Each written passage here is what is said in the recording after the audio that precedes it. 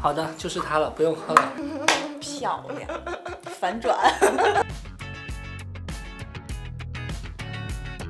Hello，大家好，欢迎回到皇家实验室，我是一凡。今天咱们不测吃的，不测用的，咱们来测点不一样的，直接来测一波人。确切的说，我们今天要测的是你我的味觉。用什么方法测呢？哎，你一定认识这两种可乐。它们有什么特别呢？这就要引出一个终极问题：人真的能靠味觉分出可口可乐和百事可乐吗？你觉得呢？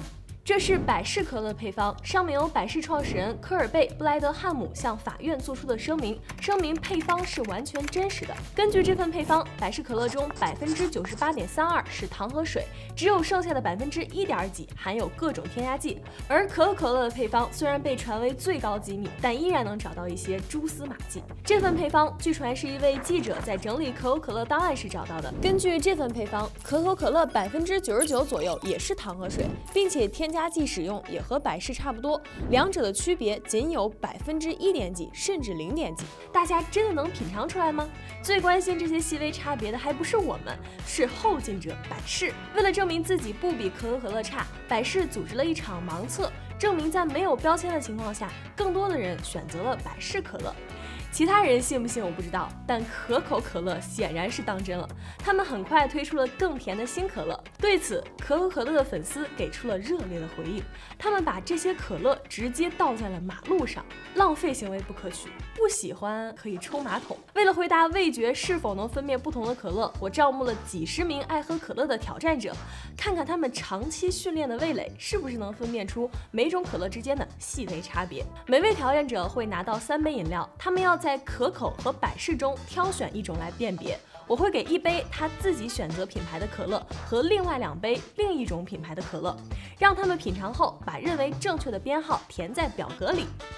大家猜他们能一口喝出自己钟爱的品牌吗？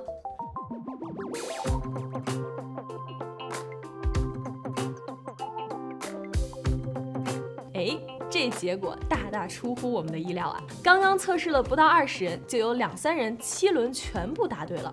按概率来说，七轮随机猜对概率是万分之二左右，所以他们肯定不是通过乱猜猜对的。我们看他们有什么特别的方法吧。其实我觉得常年喝一种可乐的话是不难分的，对另外一种的味道会。比较敏感，百事有很浓的那种，我不知道算是什么糖浆的味道，反正我一闻就能闻出来，能很明显的区别出来。它的甜和我觉得和可乐的甜是不太一样的。然后百事那个里面好像有一点点就是像中药的味道，所以 我喝出两个名味道一样的，然后那个味道不一样的一定就是可乐。采访了几位正确率高的挑战者，我们发现他们使用了一种策略。假如他们平时喝可口可乐多，那么他们就会选择百事。反向操作了，属于是。果然高手在民间，所以我决定在后续的测试中增加难度，加入一个干扰项。我买了崂山、天府、汾黄这三种国产可乐，在后续测试中，除了百事和可口，还会从这三种品牌中任选一种，替换掉原来两杯中相同品牌中的一杯。这样每位挑战者面前的可乐就变成了百事、可口和随机国产品牌。再看看会是怎样的结果。又出乎我们的意料，国产可乐的味道跟百事和可口相差甚远，增加了随机干扰项，看似增加了难度，然而对于味觉一般的人来说，反而是降低了难度。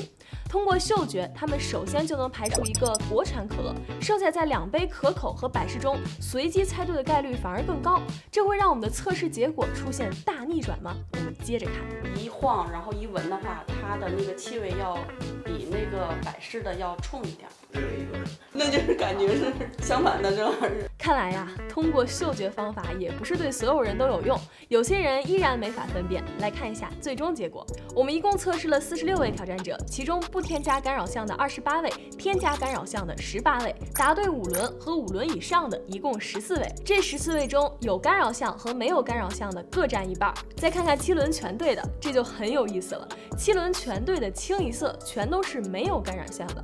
那么这个数据真的就是全部答案吗？我们发现，在全答错。的问卷里，干扰项组的有三人，这其中又有两人七轮都选择了同一种可乐。虽然跟他选择的品牌不同，但也说明了一个问题：他们对这两种可乐的味道本身能够做出区分，只是没能对应上具体的品牌。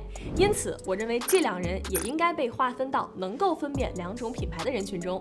这样，我们计算一下，在这四十六人中，能够完全区别两种可乐的人一共有七人，占总体的百分之十五点二。再按带不带干扰项算一下，不带干扰项的测试人群中，全部分辨出的有百分之二十七点七六，带干扰项能全分辨出的有百分之七点一四。在增加了干扰项之后，成功分辨七轮可乐的人数比例大幅下降。那么，对于没有干扰项的人，是否真的能依靠味觉做出判断呢？这就得打一个问号了。最后说一下我们的看法，从我们的测试结果来看，人群中的确有一些天赋异禀的人，也就是在这曲线的两头的人，他们味觉比普通人更加灵敏，能够分辨出更细微的味道和气味的差别。但如果放大到整个人群，这类人应该是少数，不具有普遍性。OK，不知道我们这次的测试能不能成为可乐分辨话题的终结者？怎么样，和大家想的结果一样吗？用硬核态度做有料评测，这里是皇家实验室，我们下期再见啦，拜拜。选一个，干了！哎呀，八二年的拉菲儿，是不是都是可口？